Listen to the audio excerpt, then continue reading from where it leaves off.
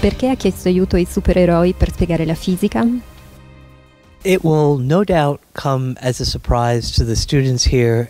Sicuramente sarà, sembrerà strano ai partecipanti a questa conferenza, però molti miei studenti eh, in America trovano la fisica noiosa e soprattutto eh, la temono perché hanno paura di non capire e per questo la ignorano, non ti ascoltano.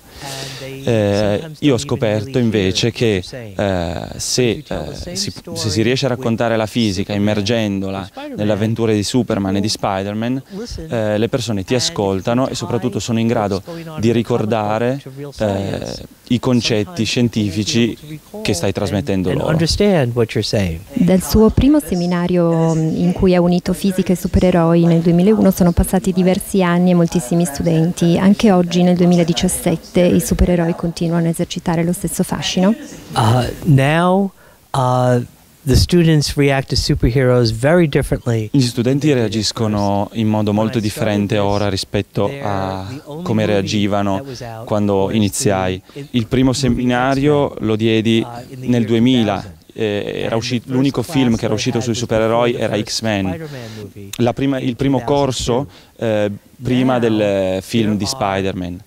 Adesso ogni anno escono 4-5 film sui supereroi e gli studenti non, non, si rendono neanche conto che in realtà eh, siano supereroi dei fumetti, per loro sono supereroi dei film, li sentono molto di più loro ed è molto più facile per loro immedesimarsi e questo ha reso in realtà il mio lavoro molto più semplice rispetto all'inizio. Um, it's made it much easier, in fact, than when I started.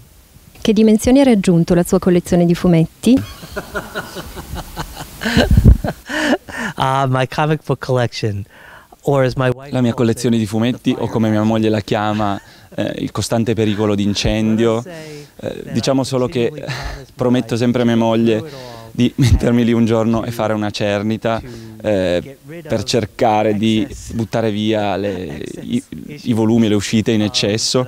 Questo non è ancora successo. Eh, per quanto riguarda l'esatto numero, eh, la scienza non è stata in grado di misurarlo. Science is unsure.